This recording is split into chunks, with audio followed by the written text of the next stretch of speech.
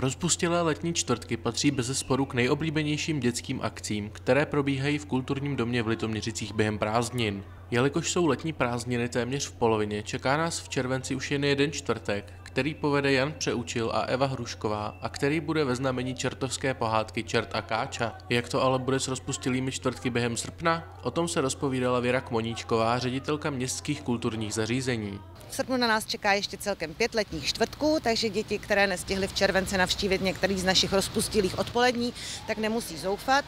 Čekají nás dvě divadelní představení, čekají nás muzikhrádky se zvířátky, které budou dokonce za doprovodu opravdových zvířátek z Adelčina dvorečka. Eh, poslední letní čtvrtek eh, přijede kouzelník Jirka Hadaš, který má pro děti připravený kouzelný karneval. Určitě jsou vítány děti v maskách, protože se bude tančit, zpívat a bude spousta zábavy. Předpokládáme nějaké začarované pohádky a podobně. Eh, Jirka Hadaš je jedno velké překvapení, takže děti se určitě mají na co těšit. Všechna představení, kromě toho posledního, které proběhne 31. srpna v 17.00 a bude stát 70 korun, začínají každý čtvrtek v 18.00 v Litoměřickém domě kultury a vstup stojí rovných 50 korun.